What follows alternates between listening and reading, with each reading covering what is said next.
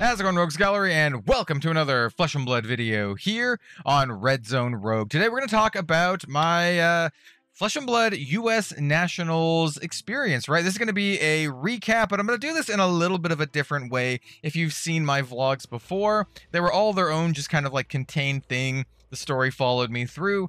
This is going to be a little bit different. This is going to be more of me just talking about it, and I'll kind of show some of the stuff as we talk about it. And then at the end of the video, we're going to show off a bunch of the cool stuff that we got from Nationals because we got a lot of cool stuff, right?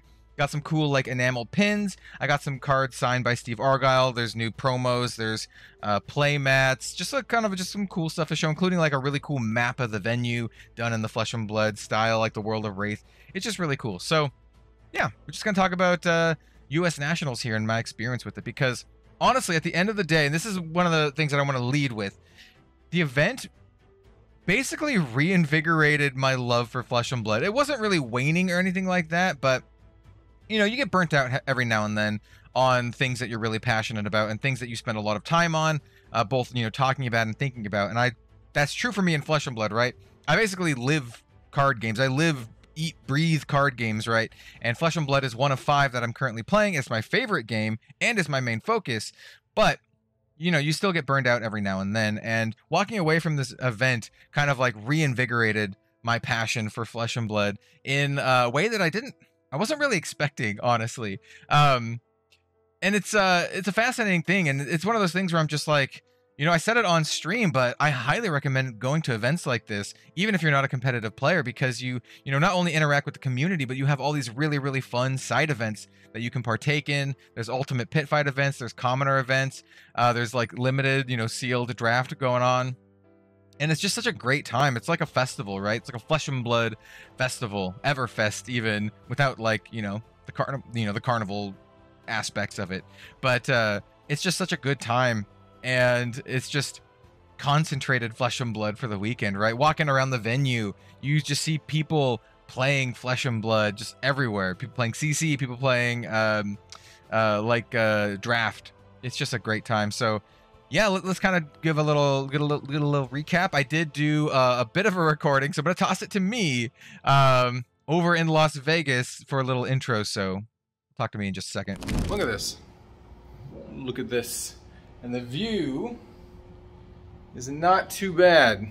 Not too bad. I don't know how much we're going to be doing for the vlog here, but I'm going to be doing some sort of vlog. I didn't record anything before this, but it was a really easy flight.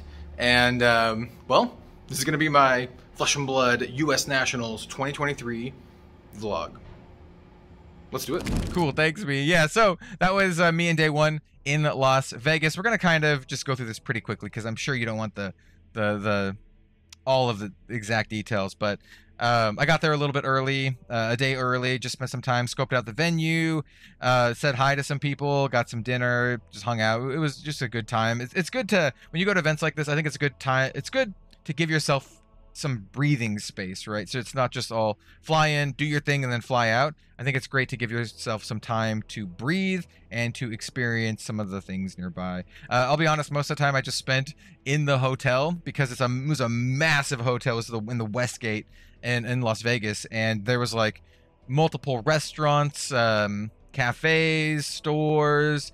Uh, as well as just a, a, giant section that was all like these massive venues. There was like a Missa not really Miss America because it looked global, but there's like a beauty pageant going on. I saw some folks setting up like a boxing ring, uh, walking past one of the venues. So it was really cool. It was very big, and the Flesh and Blood venue itself was also uh, was also pretty big. I'm gonna kind of like smash the days down a little bit and just kind of condense it down. I had a really great experience overall. Um, it was my first time working with Star City Games, and I think I walked away just like really really positive on the, the, the thing just in general had a great time working with uh, the, the the, the production team so huge shout out to those guys um, uh, Jeremy Knoll kind of ran the things. You might know him from like a Commander Versus series, but uh, just a really, really nice guy and great to work with. Um, obviously, all my casters were awesome. You have uh, like Sam, Pankaj, uh, Flake, and Brian Gottlieb. I'd worked with Brian Gottlieb and Flake before, obviously. So it's my first time like actually meeting and chatting with uh, with Sam and Pankaj. They're, just, they're both excellent guys and really got to know them over the course of the weekend, especially Pankaj. We talked about like the dinner one night at Benihana. We talked about like um, a lot of non-flesh and blood stuff, and just it was just great. We talked a lot about like Baldur's Gate and a bunch of other stuff too. It was, it was really good. Um, and then the event itself, like uh, I, I, the flesh and blood meta was fa- fascinating. I think it's really open and really interesting right now. There's like five to seven really good viable heroes. I would argue Uzuri is in there because she did get um, top three or four in the calling. Uh, the talk of the town is the Charles Dunn defensive Briar that ended up winning it, and uh, it was really fun and interesting to cast his matches over the course of the weekend even if Flake and I did get stuck with like the the hour long grind fests, uh, which is funny because I always seem to get stuck with these like, you know, grindy matchups. Um, but um, yeah, it's just really good, really interesting. Um, we did see Lexi take the win at the calling uh, with Yuki Lee Bender scoring, you know, the finishing blow. I think she did an absolutely fantastic job. I wish we were able to see, you know, coverage from that. But basically, the way coverage worked is they had two re- two things set up to record, and it's basically the feature match and then like a backup match, so we can always have something going. So we didn't really, you know, have stuff to do the the actual calling. Um, and I think from pr- the production side, they really just wanted to focus on the main event, and they didn't want to like muddy it up with the calling as well, which I kind of get. Though I do know a lot of people out there would prefer to see the calling as well. Um, SCG really kept the ball rolling, which was which is awesome. Like it was pretty pretty snappy on a lot of stuff. Um, following along with uh, so one of the things that we did this time that I have never done before is we followed uh, someone's draft. So we picked a pod. It was the top seeded pod uh, for uh, draft, and then it was me, Flake, and Sam picked someone. I picked Levi Rouch, um, and we we observed their draft, wrote down literally every single card that they picked. Um, and it was just like really fascinating. I've never done that before. I thought it was really really interesting. Um, I had a lot of fun with with that just in particular, and I, I am I'm a big fan of draft. I know I know uh, limited is getting maligned a little bit by the competitive community, but I love draft. I love limited. I think it's a blast, and uh, I had a fun like following along. Um, what else to say? I mean, like, there's not too too much else. It was just a great time. I just my overall experience was um yeah, like I said, I, am walking away from this event like kind of reinvigorated. I just want more flesh and blood now. I just want more to play more flesh and blood, to experience more flesh and blood, to cast more flesh and flesh and blood. I have a feeling if there's more events here on the West Coast that I might get the opportunity to do um, more casting and coverage, which I would definitely jump at the opportunity to do so. Um, yeah, and then there's like Worlds coming up. I don't think I'm going to be doing coverage at Worlds. I actually don't know. I don't know if anyone knows at this point, but um, I would expect that they're not going to ask me. But I'm still going to be going, um, and I'm really, really looking forward to that. Really, really looking forward to, um, you know, another big flesh and blood event. The venue itself, as you've seen in, you know, footage already, uh, was really cool. It was one of the nicer venues that I've been to. The Westgate was a pretty nice hotel, and uh, the the whole event just looked very, very regal. Um, so yeah, I just want to give a shout out to everyone involved. Um, all of the excellent, amazing cosplayers. I almost forgot. Uh, I, I ended up judging the cosplay contest. Uh, I kind of got roped into it like an hour or two hours before, you know, coverage was done. And Flake up comes up to us, uh, me and the rest of the casters. He's like, "All right, believe me or not, I'm telling the hundred percent truth. You guys are gonna judge the cosplay contest." And I was like, "No, you're judging the cosplay contest." And he's like, "No, I, I'm hosting it. You're judging." And it I was like, all right, let's do it. So, yep, I ended up hosting the, the cosplay contest. I actually know a little bit about cosplay, not not a ton, but I know enough to to know what to look out for. So, like for example, just you know, quick and dirty of it. I value um, homemade kit bash things over store bought things. I value like crafts craftsmanship and um, you know props and creativity and and character and all this all this kind of stuff. We had like these guidelines to judge by. I think I was the nicest judge. I think I gave more people high scores than anyone else. Um, because I'm just like I'm just like I feel the passion that all the cosplayers had for like Flesh and Blood and the world of Rathe and I was just like I was like I can't I can't give him too low of a score. I don't know. Maybe I'm too nice. I'm too soft. Uh, so my, my range was on the on the higher side of things. I'm not going to say exactly high, Um, but uh, yeah, all the all, all the cosplayers were absolutely fantastic, and uh, I mean, you've already seen on on screen uh, the the winner, which is uh, Max Ferocity playing Data Doll. Absolutely incredible job, absolutely incredible job. Um, and a little bit of a side, she actually might come on to our next Flesh and Blood D and D campaign. Uh, so stay tuned for that. We're gonna try to coincide that with Bright Lights, obviously. So uh, just you know, stick around, stick around for that. Uh, if you haven't seen it already, definitely check out Escape from Southmaw. It's hopefully going to be like a three episode thing, and then we're going to um, potentially do new adventures in Rathe. Like I said, maybe in time for Bright Lights, maybe with new characters, maybe with the same characters. I don't know. But anyway, I'm getting into the weeds on that. So yeah, cosplay contest was was super cool. Something that I did not plan on getting roped into, but I did in the last uh, in the last second. But yeah, overall, great, absolutely great event. Um, really, really nice to be back doing casting and coverage again. Uh, I'll be a little bit honest. I was pretty nervous going into it. I think everyone is. Um, but uh, it had been like a, maybe a year or so. Pro Tour One is the last time I did Flesh and Blood coverage, and uh, it was really nice to kind of like shake off the rust a little bit, get back in the saddle, and uh, yeah, just get just uh, give it a go. I love I love Flesh and Blood. Love talking about Flesh and Blood, and uh, wouldn't rather be doing anything else. So yeah, let's go to the top down. I've already rambled on for ten minutes. Uh, let's go to the top down and uh, show off all the cool stuff that I got at uh, U.S. Nationals.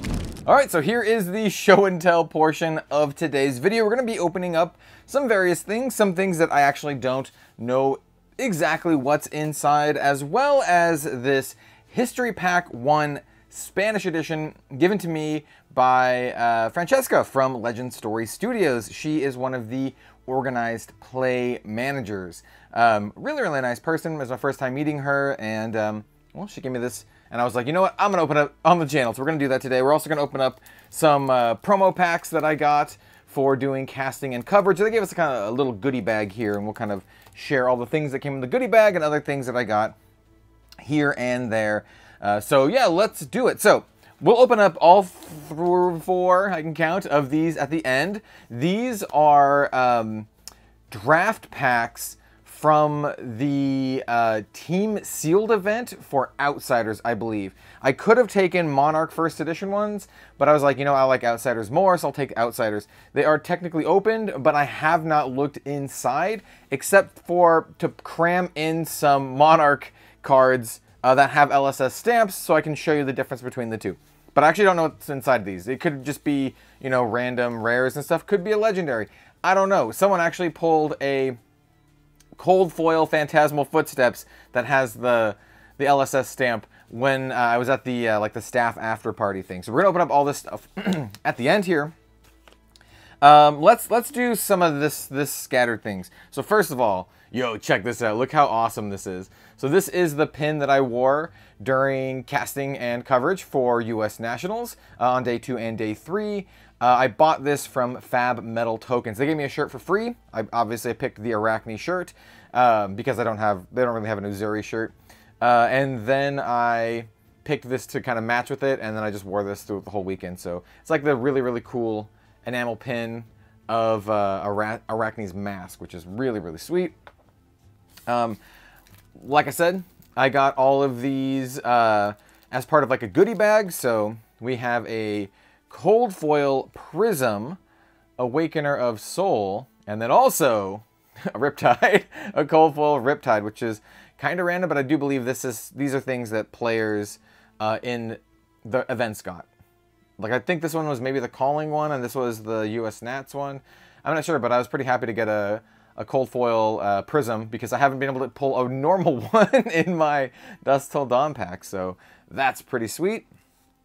Um, and then I have these two promo packs, which I could leave sealed, but nah, I, I, I open up all this stuff. I very rarely sell stuff like this that I get from these events, though I might. Like, for example, I'm to show off a playmat that I got that I'm probably going to sell because it's to eventually, I think it's to be a duplicate for me. So I do believe this is just a play, not a playset, but one of each of the Herald of Triumph. So we have Triumph Red, Triumph Yellow, and then of course Triumph Blue, all with the extended art. Beautiful, beautiful Sam Yang art, one of my favorite heralds. Um, very pretty. And uh, really looking forward to talking to Sam later, um, maybe next month. I can't remember when we scheduled it, but Sam's going to talk to us on the Living Legends podcast after uh, Bright Lights is spoiled.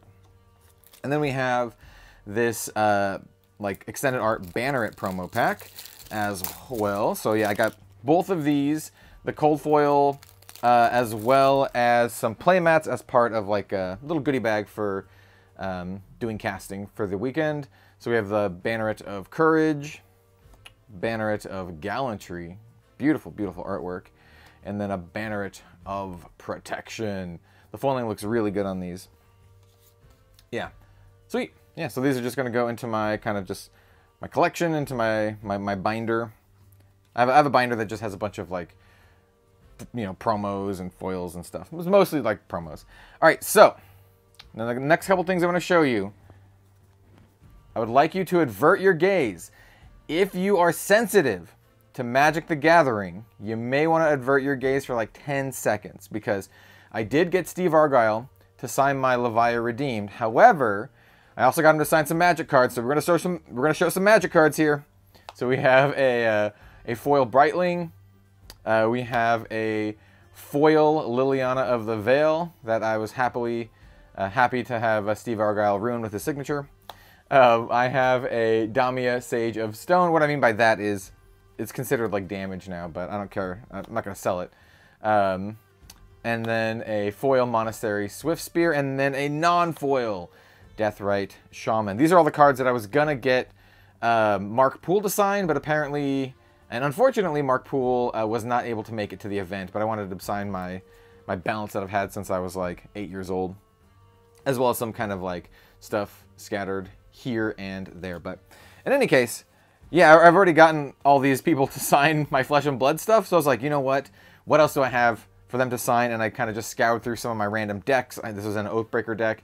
Almost all these are in um, commander decks to some degree. So I was just like, yep, let's let's kind of knock that out. And I also also got a also got a Liliana. I got one of the metal ones here that that's signed by uh, Steve, so I'm going to get a custom frame for this. It's going to go up somewhere in the studio. It's, it's pretty small, so it can kind of fit here or there. I don't really have a lot of magic stuff in the studio, but I mean, you know, very, very pretty. All right, more flesh and blood stuff. Let's get back to some flesh and blood stuff. So this is the map of the U.S. Nationals, which is super, super cool. Uh, I'm glad I kept this. I kind of want to maybe get like, I don't know, maybe like a cheap frame or something. Here's the event schedule on the back. But this was just given to everyone. You know, they, they were plentiful. I just think it's super cool. Um, the casting coverage area was over here, even though it's not labeled, but everything is labeled here. It's very cool. I like this a lot, like a lot, a lot. And then we have the playmats, right? Um, I always walk away with way too many, way too many playmats. I have a problem. So um, this one is actually, so I, I got, I got um, this one from Steve Argyle. Uh, obviously got the really cool signature on it. This one is actually uh, art that he did for a Brandon Sanderson novel, one of the Mistborn um, books. But um, I think the books are really cool. I haven't read all of them yet, but uh, I like the character. She's really, really sweet looking. Look, she looks like an awesome assassin, right? She looks so cool. So, yep, this is just a great one. I think I could use this for a lot of different videos. And then here we have some that uh, were given to me by LSS, um, or rather, they're given to me um, for as part of that that that uh, little like goodie bag. So here we have this kind of just Le Legendary Studios one that you know you can kind of see a dragon here. Uh, you can kind of see a person over here. I like this one. It's very like um, abstract. There's like a bunny, like a bunny right here. It's very abstract, but I, but I really like it a lot.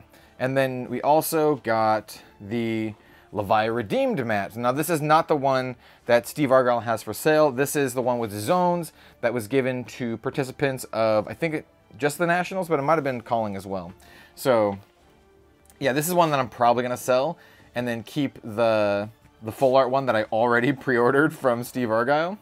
So, yep, that's that's that with the mats. We're gonna put this uh, put this one back on because it just looks incredible. Um, and then let's open these. Let's open some packs. So we're going to zoom in a bit. Zoom in a bit. Make sure it still looks good. Yeah. All right. So um, let's do this one last. Francesca did say it was from a fresh box. So I don't know. Could get something cool in there. Could Oh, dude. A a Spanish black border tunic would be sick. All right, so I think this is the one. This this is the one I crammed some other cards into. So, yeah. So this one has uh, the Monarch stamped card. So the ones that have this LSS stamp are ones that were used in the um, the Nationals draft. And so I just I just grabbed some illusionist ones that I think are cool and I, I could maybe use for UPF or something in the future. So we have Herald of Rebirth, Spears of Surreality, Art by Crovius, art, artist that I've worked with many times, Seeds of Agony, Herald of Tenacity, War-Tune Herald, Herald of Triumph, another War-Tune Herald. Okay, so those, th these are just like chaff that were just sitting around and I was like, hey, does anyone want these? And I just kind of picked, I went through and picked the ones that I, you know, I consider playable, um, or just cool ones. Uh, and then we have these, which I have not seen at all. This is, you know, a surprise for me as it is for you. So let's see. We have a Feisty Locals. These ones also have a stamp, but uh, it's more of like an actual stamp and not an LSS stamp. I'm not sure what that is supposed to be, but these are the ones that were used in the team uh, sealed draft. Here you can, yeah, you can kind of see the stamp a little bit better here. Ravenous Rabble. Um, obviously the first edition because that's the only edition that exists for Outsiders. But who knows? Maybe we get some. Ooh, oh, this one's sweet. Uh, spreading plague. Yo, I got a majestic. I wasn't expecting anything at all, so I'll take the majestic. We got an infectious host. Ooh, foil, foil death touch. I don't see a. No, yeah, you, there. The stamp's right there. You can hardly see it. Uh, and then a blade cuff. All right, got we got two, two nice ones. I might actually use this. I have a my Uzuri deck uses, oh wait, did I cut the yellows? I'm not sure if I kept I kept the yellows in it. All right, well, let's see. We got a Freewheeling Renegades. We'll kind of go through this pretty quickly because there's not a ton of exciting stuff. I mean, Widowmaker is, is nice. Death Touch, Humble. We have a uh, Spike with Bloodrot Red, which is pretty good. Ooh, Razor's Edge, which is also pretty sweet. Yeah. Yeah, I don't know. The, the stamp's pretty cool. The stamp's pretty cool. Um, I guess I'll put this down here. It is a playable one. I do like the, the spike. Spike with blood rot. Alright. Oh, I could tell the the card stock was this one, and this one in particular was used from a different box. These are the card stock from these ones. These are uh, Belgian print. I can tell this is a Japanese print because the it's just much rougher. Maybe you can even see here along the edge. Just that's just much rougher. Anyway, let's see if we got anything sweet in this one. My luck for this particular, like the Japanese ones, is not great. Well, it's fine. I, I did a video recently opening this, so I'll talk about it in that video. Another spike with blood rot, sure. And then a prowl. Hey, this would have been, these would have been sweet packs. Can end up with a really sweet assassin deck, like double spike, double spike with blood rot. That's pretty cool. Um, so yeah, and I got double spike with the stamp on it. Um, at least we got one Majestic Spreading Plague. That's pretty good for outsiders, let's be honest. Um, and I'm just going to stack these up and uh, probably set them aside somewhere. Anyway, last but certainly not least, the first and only pack of uh, Spanish History Pack 1 that I have ever opened. Uh, let's, let's do it. Once again, uh, given to me by uh, Francesca from Legend Story Studios. Unlike uh, History Pack English, these are black border. Uh, so we have a like Sleep Dart, we have a Agitator Voraz, Ravenous Rabble, Voltic Bolt, Headshot, uh, Zipper Hit, Llama. Oh, dude, the name is so great. Llama del Eter, Lectura de Runas. Ooh, we got a little nice little helm there. All right, Steelblade Shunt as a rare. Legendary. Oh, we got a we got a majestic. Oh, let's go. Three block majestic. Oh, oh, I think this is, okay, so this is either Red in the Ledger or Knock the Death Whistle. Either way, perfect. Yo, let's go, dude. Knock El Sonido de la Muerte. Oh, that's sweet. If you don't know why this is so sweet, is this is the first spoiler card that I ever did for Flesh and Blood for Arcane Rising. Is the first time they had spoilers at all, and I was given uh, Knock the Death Whistle. Super, super cool. All right, dude. I'll take it. That's very fitting. Very fitting Azalea specialization there. Well, that's going to be that for today's video. Thank you so much for watching um, and kind of just listening to my talking head recap plus this little bonus bit at the end. I had a blast at uh, U.S. Nationals And um, yeah, I can't wait to play a lot more Flesh and Blood. As always, expect more Flesh and Blood content here on the channel. I'm doing kind of a new thing over on my Patreon. I don't know exactly what I'm going to call it. It could be like Red Zone Raw or something where I just give my unfiltered, unedited opinions. Uh, so if you want to that kind of content, go check out the Patreon. Um, it's going to be a once a month Patreon exclusive. But in any case, Flesh and Blood, a hell of a game. And um, yeah, I just can't wait to play more. We have some really, really, really exciting stuff coming up in the next week that I can't talk about yet. So stay tuned for all of that. And um, we'll see you later.